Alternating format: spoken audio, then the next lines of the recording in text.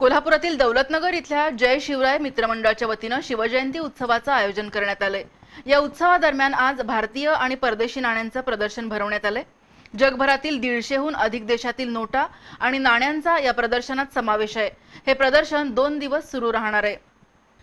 कोल्हापुरातील दौलतनगर इथल्या अण्णा मोगणे स्पोर्ट्स आणि जय शिवराय मित्रमंडळाच्या वतीनं दरवर्षी शिवजयंती उत्सवाचं आयोजन करण्यात येतं. यंदाच्या वर्षी शिवजयंती उत्सवादरम्यान विविध कार्यक्रमांचं आयोजन करण्यात आलंय. या निमित्तानं मंडळाच्या वतीनं विद्याधर गोखले यांनी संग्रहित केलेली देश आणि परदेशातील चलनी नोटा आणि नाण्यांचं प्रदर्शन भरवण्यात आलंय.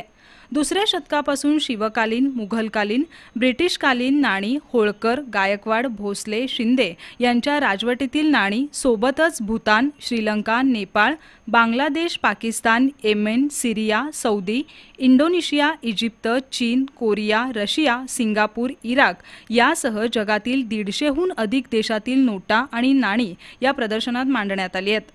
आज या प्रदर्शनाचं उद्घाटन विरोधी पक्षनेते विलास वासकर सामाजिक कार्यकर्ते महेश उत्तुरे अतुल पाटील दुर्गेश लिंगरस यांच्या हस्ते झालं. यावेळी सुनील मोहिते महेश कोरवी दीपक जितकर अमित इस्पुर्ले राहुल पाटील संतोष घाडगे प्रशांत कदम आशिष जितकर यांच्यासह कार्यकर्ते उपस्थित होते.